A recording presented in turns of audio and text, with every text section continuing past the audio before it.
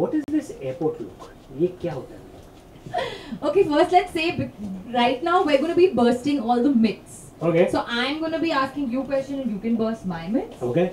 And now you want to know about airport looks, ये right? क्या है? Airport look is your look when you're going to the airport. Which is And comfortable. It's comfortable, but it has to be fashionable because while you're strutting down the airport, it's almost like you're strutting down the ramp. Okay. So why shouldn't you be fashionable? That's all the airport look is about. But actually now it's gone to another uh, spectrum altogether. It's no longer airport look. It's coming out of restaurant look. It's going into gym look. It's coming out of house look. It's going into restaurant look. So uh, basically there always has to be a look. You know, I had my most bizarre experience. You know, I don't attend too many page 3 parties or anything, but I attended Karan's uh, birthday party.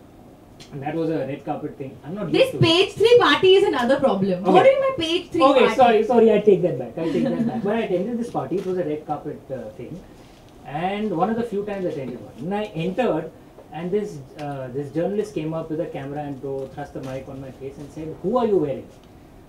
I thought maybe her English isn't good or something. So I said, "I'm sure you meant what are you wearing?"